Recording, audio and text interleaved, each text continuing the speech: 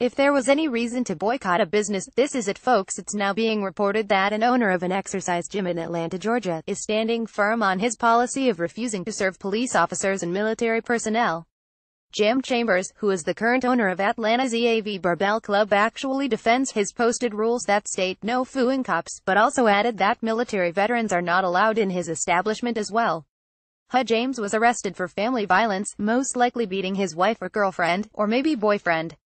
He held them captive against their will and was charged with false imprisonment as well. See here http The Mugshot website Mugshot Fulton County Sheriff Office 2013 August 0660692223 JAMESCHAMBERS The third-rate gym which is located in the East Atlanta Village neighborhood become newsworthy when a person posted a photo of the handwritten sign taped on the door of the establishment that attacked both the CrossFit exercise movement as well as police officers and NOAA military personnel also. The cheap sign written with a marker read, rules do whatever the hell you want, correctly, except CrossFit cultism, no fooing cops. When asked by a reporter about the sign, the owner of the local ass gym said that they were forced to post the no copper military member policy when they opened because his clientele is mostly made up of minorities who are uncomfortable around police officers.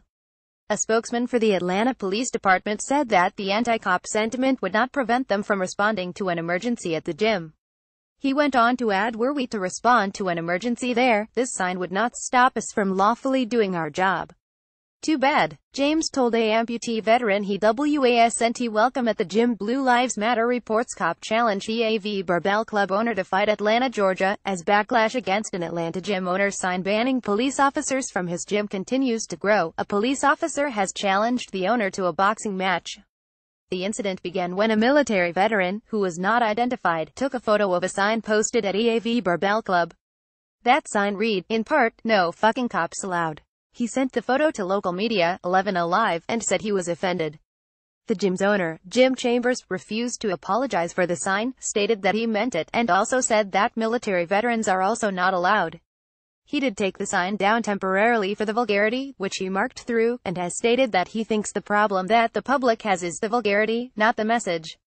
Chambers said that the sign is a political statement to protect the groups who regularly work out there, including minorities who are uncomfortable with the presence of law enforcement agents. He did not explain why he hates veterans too. Another Atlanta gym, that doesn't have anything to do with the anti-police sign, said that they are receiving calls and that people are walking in, wanting them to change their no cops policy. When a person Googles East Atlanta Gym, their name comes up first, according to 11 Alive. But Village Fitness welcomes police officers and military veterans, too, and put up a large sign on Wednesday that said we support our police military. Tara Perry from Village Fitness said that she was taken aback when people started calling and coming in to talk about their lack of support. She said that they had been there longer than EAV Barbell Club. I'm like, wait a second, that's definitely not us. We do not feel that. Way, she said. When you think of an Eastern Village gym, people think of us, Village Fitness. We've been here so long, we're established with the community. We support our local police and military. We offer discounts for them. East Village Gym supports police when asked about the anti-police sign at EAV Barbell Club. Vincent Champion, Southeast Director of the International Brotherhood of Police Officers, said, I don't understand why you'd put a sign like that up at all. Champion, who is also an Atlanta police officer, said without talking to the man, this appears to be hate for law enforcement and for what reason are you doing something illegal we will do our job. We've taken that job to serve and protect and we will do that no matter what you think of us. Tommy LaFavor, a local police officer from Fayetteville, who didn't want his agency identified, sent an email to 11 Alive and challenged Chambers to a match at a local boxing event. The event's proceeds are donated to the charity Police Athletic League. The PAL is an organization where police officers play sports with local youth in their area, or help them with their homework or other school activity. He said that he understands the challenges that police officers face in 2017, and that he hopes the boxing match could change Chambers' mind. Officer LaFavor said I found, you sweat, you bleed with somebody, you exchange punches with somebody in a sport like boxing, it's hard not to respect the guy for getting in there with you afterwards. He said that it's not about breaking a nose but bridging a gap. Officer LaFavor said, gaining mutual respect for one another in the boxing ring might be the start of something that can help overcome differences in worldview, ideology, what have you. In response, Chambers laughed when 11 Alive's reporter Faith Abubey told him about the challenge. He said, he wanted to know if it would be a fair fight before accepting it. The gym's Facebook page was on fire. Chambers did make one compromise with his anti-cop sign.